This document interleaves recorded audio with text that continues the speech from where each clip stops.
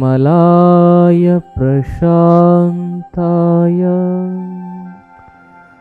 तस्मै श्री गुरवे नमः।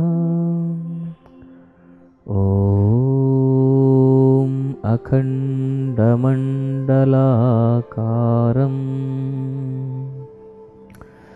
व्याप्तं येन चराचरम् तत्पदं दर्शितं येन। तस्मै श्रीगुरवे नमः। ॐ श्रीगुरुबसवलिङ्गाय नमः। ॐ श्रीगुरुबसवलिङ्गाय नमः ಓಂ ಶ್ರೀ ಗುರು ಬಸವಲಿಂಗಾಯ ನಮಃ ಬಸವವಾಹಿನಿ ಎಲ್ಲ ವೀಕ್ಷಕ ಬಂಧುಗಳಿಗೆ ವೈದ್ಯಶ್ರೀ ಮಾಡುವ ಅನಂತ ಶರಣು ಶರಣಾರ್ಥಿಗಳು. ಆತ್ಮೀಯರೆಲ್ಲರಿಗೂ ಬಸವ ಯೋಗ ಕಾರ್ಯಕ್ರಮಕ್ಕೆ ಆತ್ಮೀಯವಾಗಿರ್ತಕ್ಕಂಥ ಸ್ವಾಗತ. ಆತ್ಮೀಯರೇ, ಬಹಳ ಮುಖ್ಯವಾಗಿ ನಾವು ಈ ಮನುಕುಲಕ್ಕೆ ದೊಡ್ಡ ರೋಗವಾಗಿ ಕಾಡ್ತಾ ಇರತಕ್ಕಂಥ ಈ ನಿದ್ರೆ ಸಮಸ್ಯೆ ಬಗ್ಗೆ ಮಾತಾಡ್ತಾ ಇದ್ವಿ. ಈ ನಿದ್ರೆ ಅಂತಕ್ಕಂಥದ್ದು ಸರಿಯಾಗಿ ಆದರೆ ಜೀವನ ಹೇಗಿರ್ತದೆ ಅಂತ ಹೇಳಿದ್ರೆ ಒಂಥರ ಹೂ ಅರಳದಂಗೆ ಅರಳ್ತದೆ. ನೀವು ನೋಡಿ, ನಿಮ್ಮ ನರ್ವಸ್ ಸಿಸ್ಟಮ್ ವೀಕ್ನೆಸ್ಗೆ ಆಗ್ಬೋದು, ನಿಮ್ಮ ಹಾರ್ಮೋನ್ ಇಂಬ್ಯಾಲೆನ್ಸ್ಗೆ ಆಗ್ಬೋದು, ನಿಮ್ಮ ಮಾನಸಿಕ ರೋಗಗಳಿಗೆ ಆಗಿರ್ಬೋದು, ನಿಮ್ಮ ಶರೀರದಲ್ಲಿ ರಕ್ತಹೀನತೆಗೆ ಆಗಿರ್ಬೋದು, ನಿಮ್ಮ ಶರೀರದಲ್ಲಿ ಗ್ಯಾಸ್ಟ್ರಿಕ್ಕು ಆಸಿಡಿಟಿ ಇವೆಲ್ಲ ಸಮಸ್ಯೆಗಳು ಮೂಲವಾಗಿ ಬರ್ತಕ್ಕಂಥದ್ದು ನಿದ್ರೆ ಇಲ್ಲದೆ ಇರತಕ್ಕಂಥ ಒಂದು ಕಾರಣದಿಂದಾನೇ. ಈ ಎಲ್ಲ ಸಮಸ್ಯೆಗಳಿಂದ ನಿದ್ರಾಹೀನತೆ ಬರ್ತದೆ. ನಿದ್ರಾಹೀನತೆಯಿಂದ ಇವೆಲ್ಲ ಸಮಸ್ಯೆಗಳು ಬರ್ತವೆ. ಪ್ರತಿಯೊಂದು ಕಾಯಿಲೆಯೂ ಕೂಡ ನಮ್ಮ ಶರೀರದಲ್ಲಿ ಶರೀರದ ಇಂಬ್ಯಾಲೆನ್ಸಿಂದನೇ ಏನಾಗ್ತದೆ? ಬರ್ತದೆ. ಆ ಶರೀರದ ಇಂಬ್ಯಾಲೆನ್ಸ್ ಯಾವಾಗ ಆಗುತ್ತೆ ಅಂತ ಹೇಳಿದ್ರೆ ಸರಿಯಾಗಿ ನಿದ್ರೆ ಆಗದೇ ಇದ್ರೆ ಆಗ್ತದೆ. ಒಬ್ಬ ಮನುಷ್ಯ ಸಾಧಾರಣವಾಗಿ ಒಂದು ಆರು ಗಂಟೆಯಾದರೂ ಮಲ್ಕೊಳ್ಬೇಕು. ಅರ್ಥ ಆಯ್ತಾ? ಮಿನಿಮಮ್, ಮ್ಯಾಕ್ಸಿಮಮ್ ಎಂಟು ಗಂಟೆ. ಎಂಟು ಗಂಟೆಗಿಂತ ಜಾಸ್ತಿ ಮಲ್ಕೊಳ್ಬಾರ್ದು. ಮಿನಿಮಮ್ ಆರು ಗಂಟೆ, ಮ್ಯಾಕ್ಸಿಮಮ್ ಎಂಟು ಗಂಟೆ. ಎಂಟು ಗಂಟೆಗಿಂತ ಜಾಸ್ತಿ ಮಲಗಿದರೂ ಕೂಡ ಅದು ರೋಗ ಬರ್ತದೆ. ಆರು ಗಂಟೆಗಿಂತ ಕಡಿಮೆ ಮಲಗಿದರೂ ಕೂಡ ನಮಗೇನಾಗ್ತದೆ ರೋಗಗಳು ಬರ್ತವೆ. ಆದರೆ ಯೋಗಿಗಳು, ತಪಸ್ವಿಗಳು ಆ ಯೋಗ ಶಕ್ತಿಯಿಂದ, ಜ್ಞಾನ ಶಕ್ತಿಯಿಂದ, ತಪಸ್ಸಿನ ಶಕ್ತಿಯಿಂದ ಏನು ಮಾಡ್ತಾರೆ? ನಿದ್ರೆಯನ್ನು ಕಡಿಮೆ ಮಾಡ್ಕೊಂಡಿರ್ತಾರೆ. ಆದರೆ ನಾವು ಆ ಒಂದು ರೇಂಜ್ಗೆ ಹೋಗ್ಲಿಕ್ಕೆ ಆಗಲ್ವಲ್ಲ? ಅದಕ್ಕೆ ನಾವು ಕನಿಷ್ಠ ಪಕ್ಷ ಆರು ಗಂಟೆಯಿಂದ ಎಂಟು ಗಂಟೆಗಳ ಕಾಲ ನಿದ್ರೆಯನ್ನು ಮಾಡಬೇಕು. ಅದರ ಜೊತೆಗೆ ಬಹಳ ಮುಖ್ಯವಾಗಿ ಈ ನಿದ್ರಾಹೀನತೆಯ ಸಮಸ್ಯೆಗೆ ನಮ್ಮ ಶರೀರದಲ್ಲಿರ್ತಕ್ಕಂಥ ಒಂದು ಒತ್ತಡವೇ ಕಾರಣ. ಹಾಗಿದ್ರೆ ಶರೀರದಲ್ಲಿ ಒತ್ತಡ ಯಾಕೆ ಸೃಷ್ಟಿ ಆಗ್ತಾ ಇದೆ ಅಂದರೆ ವಾಯು ವಿಕಾರದಿಂದ ಒತ್ತಡ ಸೃಷ್ಟಿ ಆಗ್ತಾ ಇದೆ. ಹಾಗಿದ್ರೆ ಈ ವಾಯು ವಿಕಾರವನ್ನು ದೂರ ಮಾಡ್ಕೊಳ್ಳಿಕ್ಕೆ ಏನು ಮಾಡಬೇಕಂದ್ರೆ ಶರೀರಕ್ಕೆ ಅಭ್ಯಂಗವನ್ನು ಮಾಡಿಕೊಳ್ಬೇಕು. ಯಾರಿಗೆ ನಿದ್ರಾಹೀನತೆ ಸಮಸ್ಯೆ ಇರ್ತದೆ, ಅವರು ಒಂದು ವಾರಕ್ಕೆ ಎರಡು ಬಾರಿ ಆದರೂ ಪೂರ್ತಿ ದೇಹಕ್ಕೆ ಅಭ್ಯಂಗವನ್ನು ಮಾಡ್ಕೋಬೇಕು. ನಿದ್ರೆಗೆ ಎಲ್ಲ ಮೂಲವಾಗಿರ್ತಕ್ಕಂಥ ಕಾರಣದಲ್ಲಿ ವಾಯು ವಿಕಾರಗಳು ಕೂಡ ಒಂದು ಕಾರಣವಾಗಿರ್ತದೆ. ಹಾಗಾಗಿ ಭಾಳ ಮುಖ್ಯವಾಗಿ ನಮ್ಮ ಹತ್ರ ಹಲವಾರು ಜನಗಳು ಬರ್ತಾರೆ. ಈ ನಿದ್ರಾಹೀನತೆ ಸಮಸ್ಯೆಯಿಂದ, ಈ ಸಾಫ್ಟ್ವೇರ್ ಕಂಪ್ನಿಗಳಲ್ಲಿ ಕೆಲಸ ಮಾಡ್ತಿರ್ತಾರೆ ನೋಡಿ, ಅವ್ರಿಗೆ ನಿದ್ರೆನೇ ಬರಲ್ಲ. ಈ ಟೆಕ್ಕಿಗಳು ಅಂತ ಕರೀತಾರೆ ಅವ್ರನ್ನ, ಅರ್ಥ ಆಯ್ತಾ? ಇವ್ರಿಗೆ ಮನಸ್ಸು ಬಹಳ ಅಂದರೆ ಬಹಳ ಏನಾಗಿರ್ತದೆ ಅಂತಾರೆ ವೀಕ್ ಆಗಿರ್ತದೆ. ಕೂತು ಕೂತು ಕೂತು ಕೂತು ಮೈಂಡಲ್ಲಿ ಅಷ್ಟೊಂದು ಚೈತನ್ಯ ಶಕ್ತಿ ಅಂತಕ್ಕಂಥದ್ದೇ ಇರಲ್ಲ. ಅರ್ಥ ಆಯ್ತಾ? ಬರೀ ಒಂದು ಏನಾಗಿರ್ತದೆ ಅಂತ ಹೇಳಿದ್ರೆ ಈ ಕುದುರೆಗೆ ಲಾಗ ಹಾಕಿರ್ತಾರಲ್ಲ, ಹಂಗಾಗಿರ್ತದೆ ಅವ್ರ ಜೀವನ. ಅಂದರೆ ಒಂದೇನೋ ಒಂದು ಲಿಮಿಟೆಡ್ ಆಗಿರ್ತಕ್ಕಂಥ ಒಂದು ಜೀವನ ಶೈಲಿಯಲ್ಲಿ ಅವರು ಬದುಕ್ತಾ ಇರ್ತಾರೆ. ಅವರ ಬದುಕಿನಲ್ಲಿ ವಿಶಾಲತೆ ಅಂತಕ್ಕಂಥದ್ದು ತುಂಬ ಕಡಿಮೆ ಇರ್ತದೆ. ಹಾಗಾಗಿ ಈ ಸಮಸ್ಯೆಯಿಂದ ನಾವು ಹೊರಗಡೆ ಬರಬೇಕಂದ್ರೆ, ನಮ್ಮ ವಾಯು ವಿಕಾರವನ್ನು ಮೊದಲು ನಾವು ಸರಿ ಮಾಡ್ಕೋಬೇಕಂದ್ರೆ, ನಾವು ವಾರಕ್ಕೆ ಒಂದ್ಸಲಿ ಮಸಾಜ್ ಮಾಡ್ಕೋಬೇಕು. ವಾರಕ್ಕೆ ಒಂದ್ಸಲಿ ಮಸಾಜ್ ಮಾಡ್ಕೊಳ್ಳೋದ್ರಿಂದ ನಮ್ಮಲ್ಲಿ ಏನಾಗ್ತವೆ ನರಗಳು, ಚೈತನ್ಯ ಜಾಸ್ತಿ ಆಗ್ತದೆ. ವಾಯು ವಿಕಾರ ಅದರಲ್ಲೂ ಕೂಡ ಈ ನಿದ್ರೆ ಸಮಸ್ಯೆಗೆ ಬಹಳ ಮುಖ್ಯವಾಗಿರ್ತಕ್ಕಂಥದ್ದು ಅಂತ ಹೇಳಿದ್ರೆ ಉದಾಹರಣ ವಾಯು. ಉದಾಹರಣ ವಾಯು ಏನಾದರೂ ಹದಗೆಟ್ಟಿತ್ತು ಅಂದರೆ ಆಲೋಚಕ ಪಿತ್ತನೂ ಏನಾಗ್ತದೆ? ಇಂಬ್ಯಾಲೆನ್ಸ್ ಆಗ್ತದೆ. ಉದಾಹರಣ ವಾಯು ಮತ್ತು ಅದರ ಜೊತೆಗೆ ಸಮಾನ ವಾಯು. ಈ ಎರಡು ಬಹಳ ಮೇಜರ್ ಆಗಿರ್ತಕ್ಕಂಥ ಒಂದು ವಾಯುಗಳಿವು. ನಿದ್ರೆ ಸಮಸ್ಯೆಯನ್ನು ಹೆಚ್ಚಿಸಲಿಕ್ಕೆ. ಸಮಾನ ವಾಯು ಮತ್ತು ಉದಾನ ವಾಯು. ಇವೆರಡನ್ನೂ ಬ್ಯಾಲೆನ್ಸ್ ಮಾಡ್ಕೊಳ್ಳಿಕ್ಕೆ ನಾವೇನು ಮಾಡಬೇಕಂದ್ರೆ ಶೀರ್ಷಾಸನ ಮಾಡಬೇಕು. ಅದ್ರ ಜೊತೆಗೆ ಹಲವಾರು ಪ್ರಾಣಾಯಾಮಗಳನ್ನ ಮಾಡಬೇಕು. ಶೀರ್ಷಾಸನ ಮಾಡೋದ್ರಿಂದ ಏನಾಗ್ತದೆ? ಉದಾನವಾಯು ಮೇನ್ಲಿ ಆ್ಯಕ್ಟಿವ್ ಆಗುತ್ತೆ. ಸಮಾನ ವಾಯು ಮಾಡೋಕ್ಕೆ ನಾವೇನು ಮಾಡಬೇಕು? ಸಮಾನ ವಾಯು ಆ್ಯಕ್ಟಿವ್ ಮಾಡ್ಕೊಳ್ಳಿಕ್ಕೆ ಹಲವಾರು ಮುದ್ರೆಗಳು ಬರ್ತವೆ, ಹಲವಾರು ಪ್ರಾಣಾಯಾಮಗಳು ಬರ್ತವೆ. ಅದನ್ನು ಆ ಆ ನಂತರದಲ್ಲಿ ನಾನು ಹೇಳಿಕೊಡ್ತೀನಿ ನಿಮಗೆ. ಈಗ ನಮ್ಮ ಉದಾನ ವಾಯುವನ್ನು ಆ್ಯಕ್ಟಿವ್ ಮಾಡ್ಕೊಳ್ಳಿಕ್ಕೆ, ಅದ್ರ ಜೊತೆಗೆ ನಮ್ಮ ಶರೀರದಲ್ಲಿರ್ತಕ್ಕಂಥ ವಾಯು ವಿಕಾರಗಳನ್ನು ದೂರ ಮಾಡ್ಕೊಳ್ಳಿಕ್ಕೆ ನಾವು ಮಸಾಜನ್ನು ಮಾಡ್ಕೋಬೇಕು. ಈ ಉದಾನ ವಾಯುವನ್ನು ಆ್ಯಕ್ಟಿವ್ ಮಾಡ್ಕೊಳ್ಳಿಕ್ಕೆ ಶೀರ್ಷಾಸನ ಮಾಡಬೇಕು.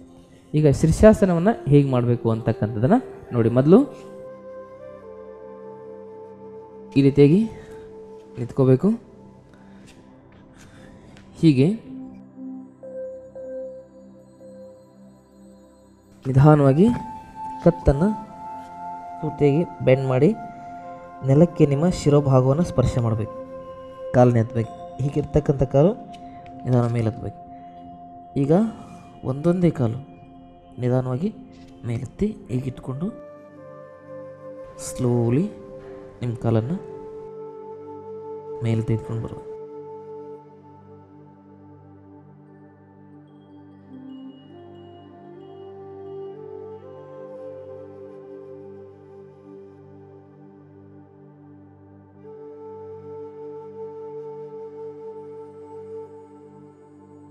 ಶೀರ್ಷ ಪದ್ಮಾಸನ.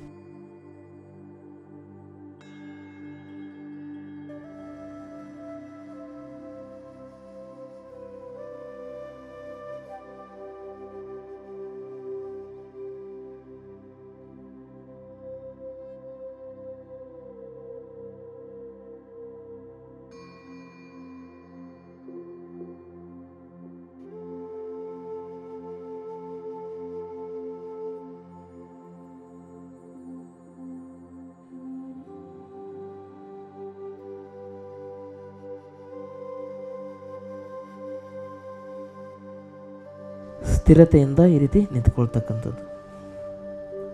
ನಿಧಾನವಾಗಿ ವಾಪಸ್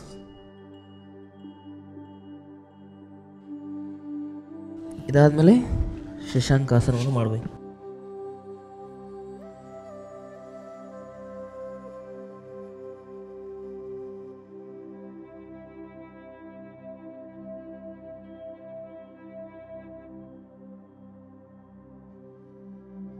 ದೀರ್ಘವಾಗಿ ಉಚ್ಛ್ವಾಸ ನಿಶ್ವಾಸ ಮಾಡಬೇಕು. ಹಿಂದೆ ಮೊದಲು ಅದಾದಮೇಲೆ ಕೈಯನ್ನು ಮುಂದೆ ತೆಗೆದುಕೊಂಡು ಬರಬೇಕು. ಮೊದಲು ಬಂದ ತಕ್ಷಣ ಶೀರ್ಷಾಸನದಿಂದ ಬಂದ ತಕ್ಷಣ ಏನು ಮಾಡಬೇಕು? ಕೈ ಹಿಂದೆ ಇಟ್ಕೊಂಡಿರಬೇಕು. ಅದಾದಮೇಲೆ ಕೈನ ಮುಂದೆ ಚಾಚಬೇಕು.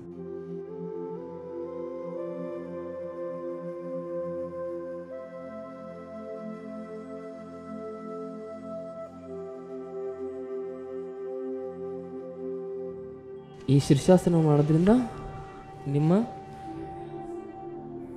ಉದಾಹನ ವಾಯು ಆ್ಯಕ್ಟಿವ್ ಆಗ್ತದೆ. ಅದರ ಜೊತೆಗೆ ನಿಮ್ಮ ಮೆದುಳಿನ ಕ್ರಿಯಾಶೀಲತೆ ಹೆಚ್ಚಿಗೆ ಆಗಿ ನಿಮ್ಮ ನಿದ್ರೆಯ ಸಮಸ್ಯೆ ಸಂಪೂರ್ಣವಾಗಿ ನಿವಾರಣೆ ಆಗ್ತದೆ. ಹಾಗಾಗಿ ಬಹಳ ಮುಖ್ಯವಾಗಿ ನೀವು ಅರ್ಥ ಮಾಡ್ಕೋಬೇಕಾಗಿರ್ತಕ್ಕಂಥದ್ದು ಏನಂದರೆ, ನಿಮ್ಮ ಶರೀರಕ್ಕೆ ಯಾವತ್ತೂ ನೀವು ವಾಯು ವಿಕಾರ ಹೆಚ್ಚಾಗಲಿಕ್ಕೆ ಬಿಡಬಾರ್ದು. ಅಟ್ಲೀಸ್ಟ್ ವಾರಕ್ಕೆ ಒಂದ್ಸಲಿನಾದರೂ ಅಭ್ಯಂಗ ಸ್ನಾನವನ್ನು ಮಾಡ್ಕೋಬೇಕು. ಆ ಒಂದು ಅಭ್ಯಂಗ ಸ್ನಾನದಿಂದ ಕೇವಲ ನಮ್ಮ ನಿದ್ರೆ ಸಮಸ್ಯೆ ನಿವಾರಣೆ ಅಷ್ಟೇ ಅಲ್ಲ, ಶರೀರಕ್ಕೆ ವಾತದಿಂದ ಬರ್ತಕ್ಕಂಥ ಎಂಬತ್ತಾರು ಕಾಯಿಲೆಗಳನ್ನು ನಾವು ನಿವಾರಣೆ ಮಾಡ್ಕೊಳ್ಬೋದು. ಹಿಂದೆಲ್ಲ ಈ ಅಭ್ಯಂಗ ಸ್ನಾನವನ್ನು ತಾಯಂದಿರು ಮಕ್ಕಳಿಗೆ ಮಾಡಿಸ್ತಾ ಇದ್ರು. ಈಗ ಆ ಎಲ್ಲ ಸಂಸ್ಕೃತಿ ಮಾಯವಾಗಿ ಹಲವಾರು ಪಾಶ್ಚಿಮಾತ್ಯ ದುಷ್ಟ ಸಂಸ್ಕೃತಿಗಳನ್ನು ನಾವು ಮೈ ಮೇಲೆ ತುಂಬಿಕೊಂಡು ನಮ್ಮ ಶರೀರವನ್ನು ಹಾಳು ಮಾಡಿಕೊಂಡು ನಮ್ಮ ಜೀವನವನ್ನು ಹಾಳು ಮಾಡ್ಕೊಳ್ತಾ ಇದ್ದೇವೆ. ಅದರಿಂದ ಮುಕ್ತರಾಗಿ ಬಂದಾಗ ಮಾತ್ರ ನಮ್ಮ ಎಲ್ಲ ಸಮಸ್ಯೆಗಳಿಗೆ ಪರಿಹಾರ ಸಿಗ್ತದೆ ಅಂತಕ್ಕಂಥ ಮಾತನ್ನು ಹೇಳ್ತಾ, ಈಗ ಚಿಕ್ಕ ವಿರಾಮವನ್ನು ತೆಗೆದುಕೊಂಡು ಬರ್ತಕ್ಕಂಥ ಸಮಯ. ವಿರಾಮದ ನಂತರ ಮತ್ತಿಷ್ಟು ವಿಚಾರಗಳನ್ನು ನೋಡೋಣ.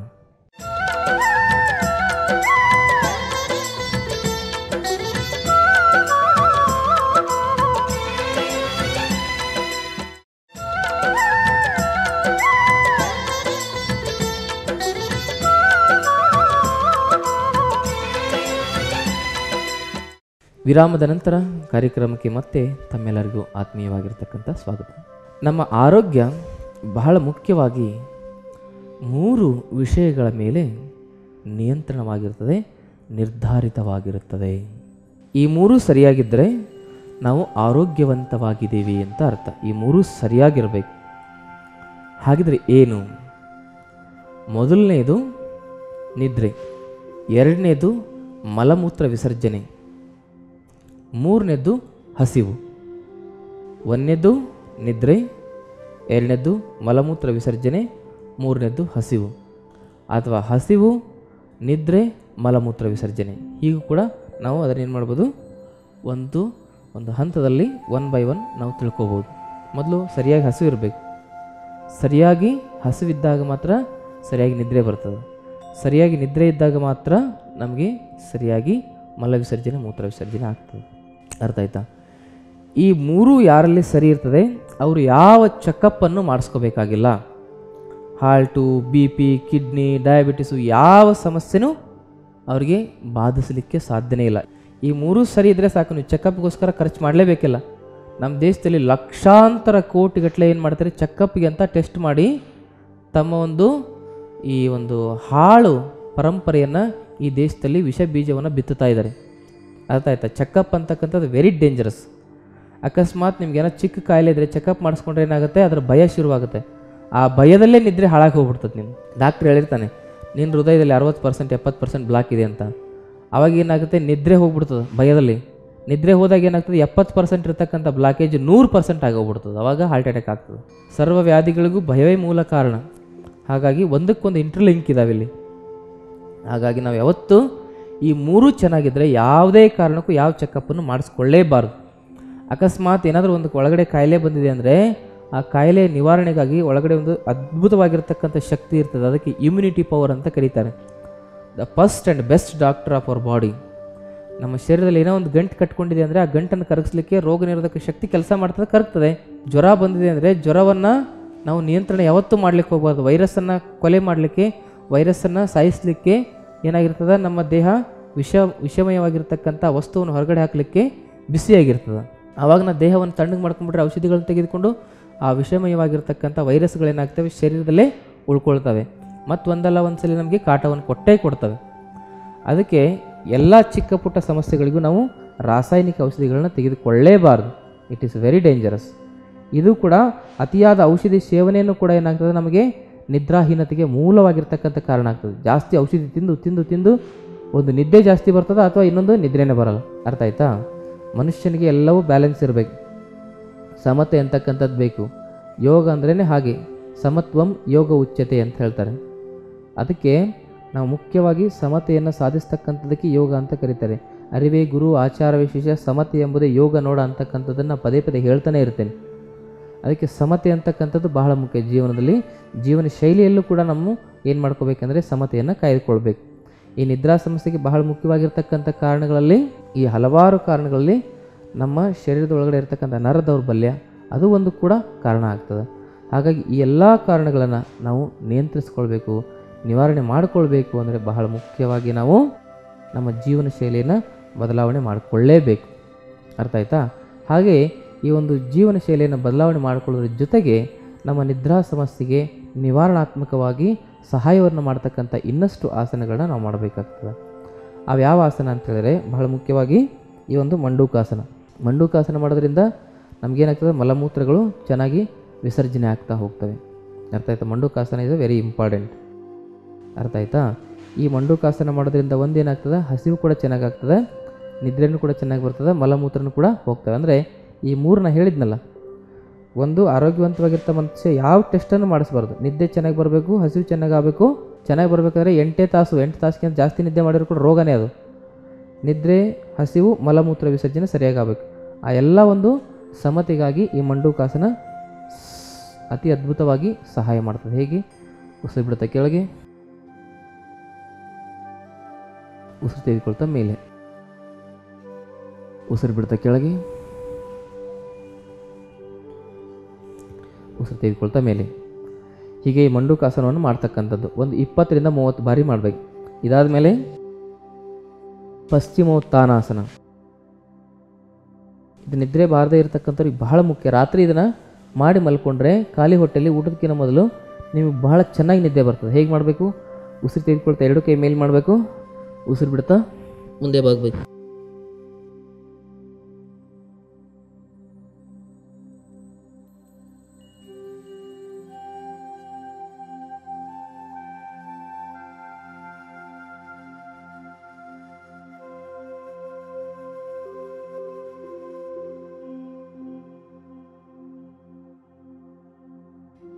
ಹೀಗೆ ಇಪ್ಪತ್ತು ಬಾರಿ ಆದಮೇಲೆ ಈಗ ವಿಶ್ರಾಂತಿ ಮಾಡಬೇಕು.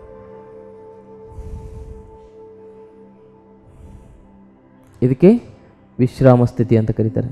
ಇದಾದಮೇಲೆ ನೆಕ್ಸ್ಟ್ ಮತ್ತೆ ಇಪ್ಪತ್ತು ಬಾರಿ.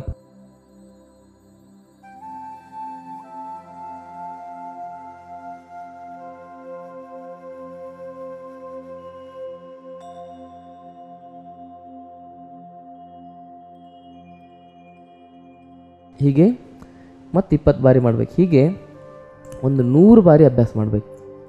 ಈ ಥರ ಮಾಡೋದ್ರಿಂದ ನಮ್ಮಲ್ಲಿ ಸಮಾನ ವಾಯು ಏನಾಗ್ತದೆ? ಆ್ಯಕ್ಟಿವೇಟ್ ಆಗ್ತಾ ಹೋಗುತ್ತೆ.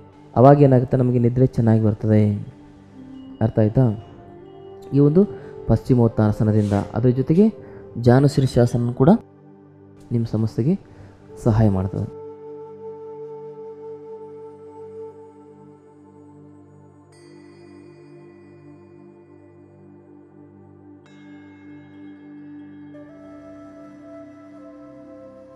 ಉಸಿರು ತೆಗೆದುಕೋಬೇಕು ಉಸಿರು ಬಿಡಬೇಕು, ಉಸಿರು ತೆಗೆದುಕೋಬೇಕು, ಉಸಿರನ್ನ ಬಿಡಬೇಕು. ಉಸಿರು ತೆಗೆದುಕೋಬೇಕು, ಉಸಿರು ಬಿಡಬೇಕು, ಉಸಿರು ತೆಗೆದುಕೋಬೇಕು, ಉಸಿರನ್ನ ಬಿಡಬೇಕು.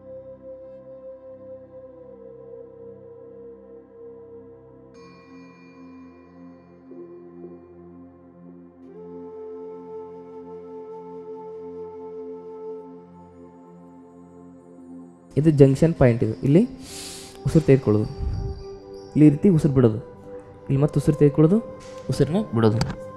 ಉಸಿರು ತೆಗೆದುಕೋಬೇಕು, ಉಸಿರು ಬಿಡಬೇಕು, ಮತ್ತು ಉಸಿರು ತೆಗೆದುಕೋಬೇಕು, ಆಮೇಲೆ ಉಸಿರನ್ನ ಬಿಡಬೇಕು. ಈ ರೀತಿಯಾಗಿ ಒಂದು ಹಂಡ್ರೆಡ್ ಟೈಮ್ಸ್ ಮಾಡೋದು. ಅರ್ಥ ಆಯ್ತಾ? ಕೊನೆಗೆ ಏನು ಮಾಡೋದು? ಒಂದು ಮೂರು ನಿಮಿಷ ಈ ರೀತಿ ಹೋಲ್ಡ್ ಮಾಡೋದು.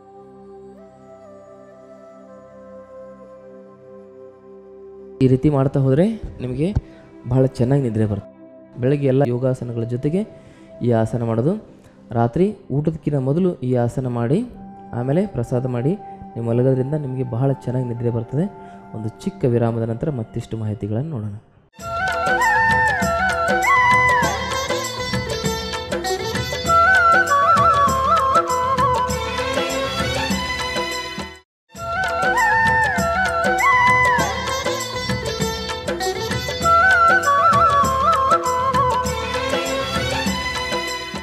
ವಿರಾಮದ ನಂತರ ಮತ್ತಿಷ್ಟು ಮಾಹಿತಿಗಳ ಬಗ್ಗೆ ನಿಮಗೆ ಸಂಪೂರ್ಣವಾಗಿ ವಿವರಣೆಯನ್ನು ಕೊಡ್ತಾ ಇದ್ದೀನಿ. ಬಹಳ ಮುಖ್ಯವಾಗಿ ಈ ನಿದ್ರಾಹೀನತೆಗೆ ನಾನೇನು ಹೇಳಿದೆ? ಈ ಮೂರು ಹಸಿವು ಆಗದೇ ಇರತಕ್ಕಂಥದ್ದು ಮತ್ತು ಮಲಮೂತ್ರ ವಿಸರ್ಜನೆ ಆಗದೇ ಇರತಕ್ಕಂಥದ್ದು ಇದೇನಾಗಿರ್ತದೆ? ನಿದ್ರಾಹೀನತೆಗೆ ಬಹಳ ಮುಖ್ಯವಾಗಿರ್ತಕ್ಕಂಥ ಕಾರಣವಾಗಿರ್ತದೆ. ಅರ್ಥ ಆಯ್ತಾ? ಹಾಗಾಗಿ ಬಹಳ ಮುಖ್ಯವಾಗಿ ನಾವು ಹಸಿವಿನ ಕಡೆಗೂ ಗಮನ ಕೊಡಬೇಕು. ರಾತ್ರಿ ಕೆಲವು ಜನರಿಗೆ ಎಚ್ಚರಿಕೆ ಆಗ್ತದೆ.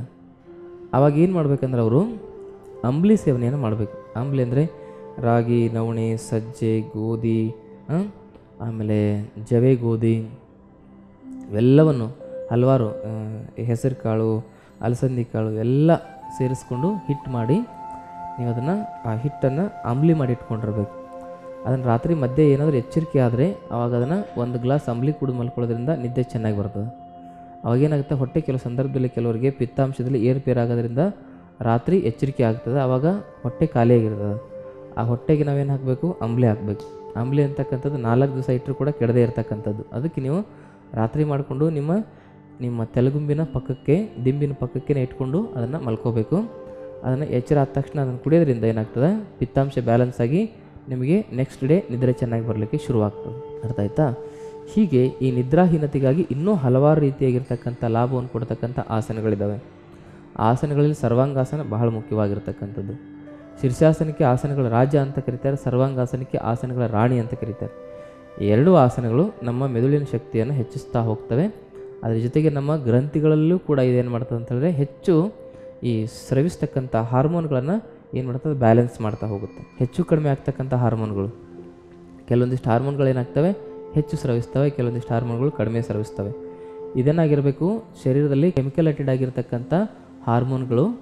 ಇವು ನ್ಯಾಚುರಲ್ ಕೆಮಿಕಲನ್ನು ಉತ್ಪತ್ತಿ ಮಾಡ್ತಿರ್ತವೆ ಶರೀರದಲ್ಲಿ. ಥೈರಾಕ್ಸಿನ್ ಆಗಿರ್ಬೋದು ಆಕ್ಸಿಟೋಸಿನ್ ಆಗಿರ್ಬೋದು ಮೆಲಟಿನಿನ್ ಆಗಿರ್ಬೋದು ಇವಕ್ಕೆಲ್ಲ ಹಾರ್ಮೋನಲ್ ಇಂಬ್ಯಾಲೆನ್ಸ್ ಅಂತಕ್ಕಂಥ ಒಂದು ಪಟ್ಟವನ್ನು ಕೊಟ್ಬಿಡ್ತಾರೆ. ಇದೇನಾದರೂ ಸ್ವಲ್ಪ ವೇರಿಯೇಷನ್ ಆದರೆ. ಈ ಸರ್ವಾಂಗಾಸನ ಮಾಡೋದ್ರಿಂದ ಎಲ್ಲ ಹಾರ್ಮೋನ್ ಗ್ಲ್ಯಾಂಡ್ಗಳು ಮ್ಯಾಕ್ಸಿಮಮ್ ಸ್ಟಿಮ್ಯುಲೇಟ್ ಆಗ್ತಾ ಹೋಗ್ತವೆ. ಅದರಿಂದ ಏನಾಗ್ತದೆ? ನಿಮ್ಮ ನಿದ್ರೆಯ ಸಮಸ್ಯೆ ಸಂಪೂರ್ಣವಾಗಿ ನಿವಾರಣೆ ಆಗ್ತದೆ. ಹಾಗಿದ್ರೆ ಈ ಸರ್ವಾಂಗಾಸನವನ್ನು ಹೇಗೆ ಮಾಡೋದು? ಮತ್ತಿಷ್ಟು ಆ ನಮ್ಮ ನಿದ್ರೆ ಸಮಸ್ಯೆಯನ್ನು ನಿವಾರಣೆ ಮಾಡ್ಕೊಳ್ಳಿಕ್ಕೆ ನಾವೇನು ಮಾಡಬೇಕಂದ್ರೆ ಬಹಳ ಮುಖ್ಯವಾಗಿ ರಾತ್ರಿ ಮಲಗೋ ಸಂದರ್ಭದಲ್ಲಿ ಒಂದು ಬಾಳೆಹಣ್ಣು, ಒಂದು ಚಮಚ ಜೇನು ಅದನ್ನು ಸೇರಿಸ್ಕೊಂಡು ಸೇವನೆ ಮಾಡೋದ್ರಿಂದ ನಮಗೆ ಬಹಳ ಬೇಗ ಚೆನ್ನಾಗಿ ನಿದ್ರೆ ಬರ್ತದೆ. ಅರ್ಥ ಆಯ್ತಾ? ಅದರ ಜೊತೆಗೆ ನಾವು ರಾತ್ರಿ ಮಲಗೋ ಸಂದರ್ಭದಲ್ಲಿ ಒಂದು ಚಮಚ ಹಾಲು, ಬಿಸಿ ಹಾಲು, ಅದರ ಜೊತೆಗೆ ಒಂದು ಎರಡು ಚಿಟಿಕೆ ಅರಶಿನ ಪುಡಿ ಒಂದೆರಡು ಚಿಟಿಕೆ ಅರಶಿನ ಪುಡಿ ಹಾಕ್ಕೊಂಡು ನಾವು ಅದನ್ನು ಸೇವನೆ ಮಾಡಿ ಸಕ್ಕರೆ ಹಾಕಬಾರ್ದು. ಸೇವನೆ ಮಾಡಿ ಮಲಗೋದ್ರಿಂದ ಬಹಳ ಅತಿ ಅದ್ಭುತವಾಗಿ ನಿದ್ರೆ ಬರ್ತದೆ. ಅರ್ಥ ಆಯ್ತಾ? ಹಾಗಾಗಿ ನಿದ್ರೆ ಸಮಸ್ಯೆ ಅಂತಕ್ಕಂಥದ್ದು ಏನು ದೊಡ್ಡ ಸಮಸ್ಯೆ ಅಲ್ಲ. ಅದನ್ನು ಬಿಟ್ಟರೆ ಅದು ಬಹಳ ದೊಡ್ಡ ಸಮಸ್ಯೆಯಾಗಿ ನಮ್ಮನ್ನು ನಾಶ ಮಾಡ್ತದೆ. ಅದಕ್ಕೆ ಅದು ಹತ್ತಿರ ಒಂದು ಚಿಕ್ಕದಾಗಿರ್ತಕ್ಕಂಥ ಸ್ಥಿತಿಯಲ್ಲಿ ನಾವು ಅದನ್ನು ಏನು ಮಾಡ್ಕೋಬೇಕಂತ ಹೇಳಿದ್ರೆ ಸರಿ ಮಾಡ್ಕೊಳ್ಬೇಕು ಈಗ ಸರ್ವಾಂಗಾಸನವನ್ನು ಮಾಡೋ ಸಂದರ್ಭದಲ್ಲಿ ಯಾವ ಒಂದು ಮಂತ್ರಗಳನ್ನ ಉಚ್ಚಾರಣೆ ಮಾಡಬೇಕಂದ್ರೆ ನಾವು ಓಂ ನಮ ಶಿವಾಯ ಓಂ ನಮ ಶಿವಾಯ ಈ ಮಂತ್ರವನ್ನು ಉಚ್ಚಾರಣೆ ಮಾಡ್ತಾ ಮಾಡ್ತಾ ನಾವು ಸರ್ವಾಂಗಾಸನವನ್ನು ಮಾಡಬೇಕು. ಮನಸ್ಸಿನಲ್ಲಿ ಈ ಮಂತ್ರ ಉಚ್ಚಾರಣೆ ಮಾಡಬೇಕು. ಅಂದರೆ ಏನಾಗ್ತದೆ? ನಮ್ಮ ಚಕ್ರಗಳಲ್ಲಿ ಇಂಬ್ಯಾಲೆನ್ಸ್ ಆಗಿರತಕ್ಕಂಥ ಶಕ್ತಿ ಏನಾಗ್ತದೆ? ಬ್ಯಾಲೆನ್ಸ್ ಆಗ್ತಾ ಬರ್ತದೆ. ಚಕ್ರಗಳ ಇಂಬ್ಯಾಲೆನ್ಸು ಕೂಡ ನಮ್ಮ ನಿದ್ರೆಯ ಸಮಸ್ಯೆಗೆ ಬಹಳ ಮುಖ್ಯವಾಗಿರ್ತಕ್ಕಂಥ ಕಾರಣ ಆಗಿರ್ತದೆ. ಒಂದರಲ್ಲಿ ಹೆಚ್ಚು ಶಕ್ತಿ, ಒಂದರಲ್ಲಿ ಕಡಿಮೆ ಶಕ್ತಿ, ಒಂದರಲ್ಲಿ ಹೆಚ್ಚು ಬಲ, ಇನ್ನೊಂದರಲ್ಲಿ ಕಡಿಮೆ ಬಲ ಇದ್ದಾಗ ಏನಾಗ್ತದೆ? ಹಲವಾರು ಸಮಸ್ಯೆಗಳು ಕ್ರಿಯೇಟ್ ಆಗ್ತವೆ. ಅರ್ಥ ಆಯ್ತಾ? ಇದೇನು ಮಾಡ್ತಂದ್ರೆ ಕುಂಡಲಿನಿಯಲ್ಲಿ ಇರ್ತಕ್ಕಂಥ ಎಲ್ಲ ಚಕ್ರಗಳನ್ನು ಕೂಡ ಸರ್ವಾಂಗಾಸನದಲ್ಲಿ ಓಂ ನಮ ಶಿವಾಯ ಅಂತಕ್ಕಂಥ ಮಂತ್ರ ಹೇಳೋದ್ರಿಂದ ಅದೆಲ್ಲ ಬ್ಯಾಲೆನ್ಸ್ ಆಗುತ್ತೆ. ಹಾಗಾದರೆ ಈ ಆಸನವನ್ನು ಹೇಗೆ ಮಾಡೋದು? ಸರ್ವಾಂಗಾಸನದಲ್ಲಿ ಮತ್ತು ಹಲವಾರು ವಿಭಿನ್ನತೆಗಳನ್ನು ಕೂಡ ನಾವು ಮಾಡ್ಬೋದು. ಅದನ್ನು ಹೇಗೆ ಮಾಡೋದು ಅಂತಕ್ಕಂಥದ್ದನ್ನು ಈಗ ನೋಡೋಣ. ಬನ್ನಿ. ಮೊದಲು ಬೆನ್ ಮೇಲೆ ಮಲ್ಕೋಬೇಕು. ಬೆನ್ನ ಮೇಲೆ ಮಲ್ಕೊಂಡ್ಮೇಲೆ ನಿಧಾನವಾಗಿ ನಿಮ್ಮೆರಡು ಕಾಲುಗಳನ್ನ ಎತ್ತಬೇಕು ಇದು ವಿಪರೀತ ಕರಣಿ ಇದಾದಮೇಲೆ ನಿಧಾನವಾಗಿ ಕಾಲ ಮೇಲೆ ಸರ್ವಾಂಗಾಸನ.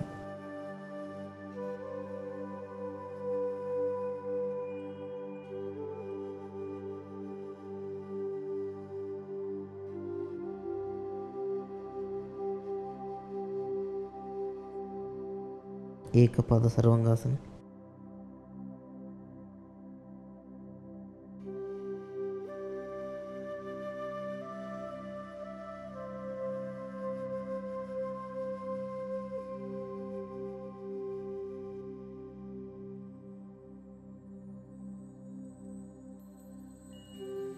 సర్వాంగ నమనా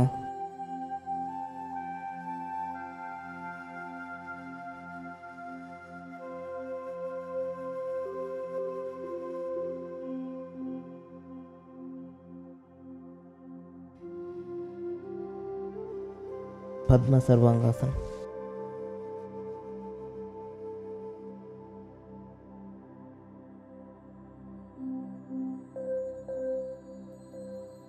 ನಿಧಾನವಾಗಿ ಎರಡು ಕಾಲುಗಳನ್ನು ಕೆಳಗೆ ತೆಗೆದುಕೊಂಡು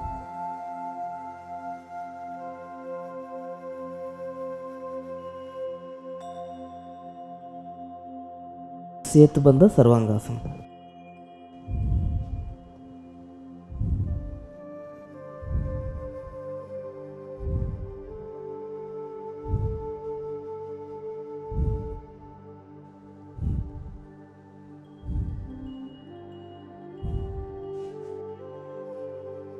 ಇದರಲ್ಲಿ ನಮ್ಮ ಕೈಗಳನ್ನು ಈ ರೀತಿಯಾಗಿ ನಮ್ಮ ಬೆನ್ನು ಹುರಿ ಕೆಳಭಾಗಕ್ಕೆ ಆಧಾರವಾಗಿ ಇಟ್ಕೋಬೇಕು.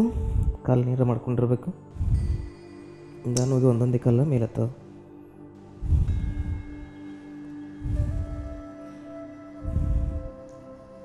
ಈ ರೀತಿ ನಿದ್ರಾಹೀನತೆಯನ್ನು ನಿವಾರಣೆ ಮಾಡಲಿಕ್ಕೆ ಈ ಸರ್ವಾಂಗಾಸನದ ವಿನ್ಯಾಸಗಳು ಬಹಳ ಸಹಾಯವನ್ನು ಮಾಡುತ್ತವೆ.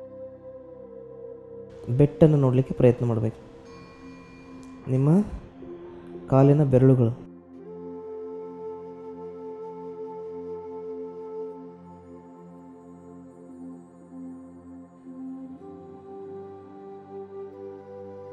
ನಿಧಾನವಾಗಿ ಕೆಳಗಡೆ ಬನ್ನಿ. ಕೈನ ಮೇಲೆ ಚಾಚಿ. ಎಡಭಾಗದಲ್ಲಿ.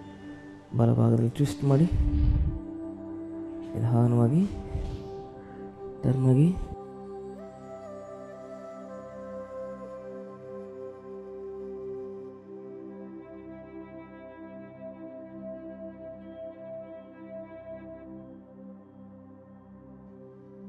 ನಿಧಾನವಾಗಿ ಮೇಲೆದ್ದು ಕುತ್ಕೋಬೇಕು.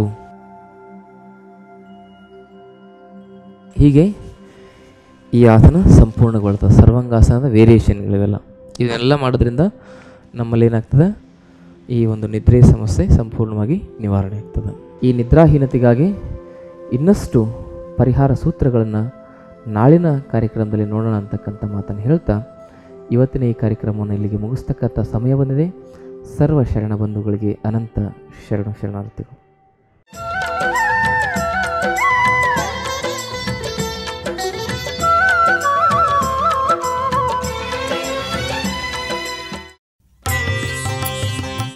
ಗುಣವಾಗದ ನಿಮ್ಮ ಎಲ್ಲ ಕಾಯಿಲೆಗಳಿಗೆ ಇಲ್ಲಿ ಚಿಕಿತ್ಸೆ ನೀಡಿ ಪರಿಹಾರ ಒದಗಿಸಲಾಗುವುದು. ಯೋಗ ನಿಸರ್ಗ ಚಿಕಿತ್ಸೆ ಹಾಗೂ ಆಯುರ್ವೇದ ಚಿಕಿತ್ಸಾ ತರಬೇತಿಗಾಗಿ ಸಂಪರ್ಕಿಸಿ ವೈದ್ಯ ಶ್ರೀ ಚನ್ನಬಸವಣ್ಣ, ಶ್ರೀ ಗಂಗಾ ಯೋಗ ನಿಸರ್ಗ ಚಿಕಿತ್ಸಾ ಹಾಗೂ ಆಯುರ್ವೇದ ಸಂಶೋಧನಾ ಕೇಂದ್ರ ನಂಬರ್ ಹದಿಮೂರು, ಆರನೇ ಮುಖ್ಯ ರಸ್ತೆ, ಟಾಟಾ ನಗರ ವೃತ್ತ, ಬಾಲಾಜಿ ಲೇಔಟ್, ಸಹಕಾರ ನಗರದ ಹತ್ತಿರ ಕೊಡುಗೆಹಳ್ಳಿ ಮುಖ್ಯ ರಸ್ತೆ, ಬೆಂಗಳೂರು ಐದು ಆರು ಸೊನ್ನೆ ಸೊನ್ನೆ ಒಂಬತ್ತು ನಾಲ್ಕು. ದೂರವಾಣಿ ಸಂಖ್ಯೆ ಒಂಬತ್ತು ಒಂಬತ್ತು ಎಂಟು, ಸೊನ್ನೆ ಎರಡು ಏಳು ಏಳು ಒಂಬತ್ತು ಏಳು ಮೂರು ಅಥವಾ ಏಳು ಮೂರು ಮೂರು, ಏಳು ಆರು ಒಂದು, ಎಂಟು ಎಂಟು ಐದು ಸೊನ್ನೆ. ಇಮೇಲ್ ವಿಳಾಸ Vaidyashri C G at Gmail dot com. Website ವಿಳಾಸ W W W dot Shri Ganga Yoga dot in.